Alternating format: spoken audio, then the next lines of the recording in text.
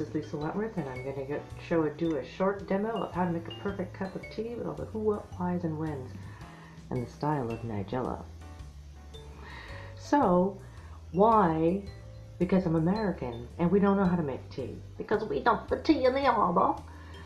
And uh, we invented Starbucks and got you addicted. So, we tend to throw tea into the microwave and uh, whack it and leave the string hanging out because we think that's fine. So where in my messy kitchen, which overlooks Wentworth, which I'll give you a view later on. And how? Well, I like to start off with actually getting some fresh water. Now nobody's ever told me to do this, I've been in enough hotels with water that has sat, and I always wonder, what calcification am I drinking? Another thing you're supposed to do is warm the pot, if you have a pot. Um, kettles are not a popular thing in the States. I think my mom got me one. It cost a fortune and was very hard to find. And the key thing I found is actually boiling the water all the way. I didn't know that till a loved one told me, why do you keep scolding me with this coffee? So, who, what, why, when, where? Oh, where? While that's boiling, I'll show you my view. Another good reason to have a cup of tea or anything just started storming.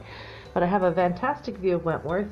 Hard to see on an icky day, but there's the Ionic Temple and the Eye of the Needle, which you would be able to see if it was clear out.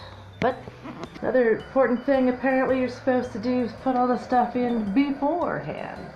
In the States, we put it in after, so rocking it and no agenda pushing or brands whatsoever.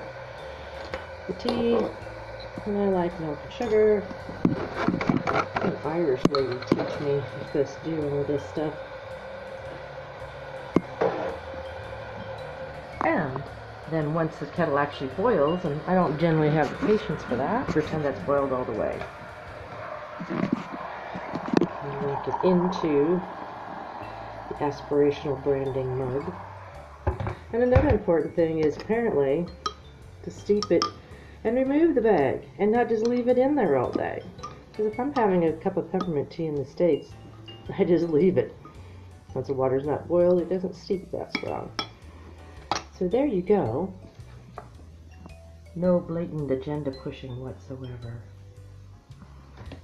The perfect cup of English tea.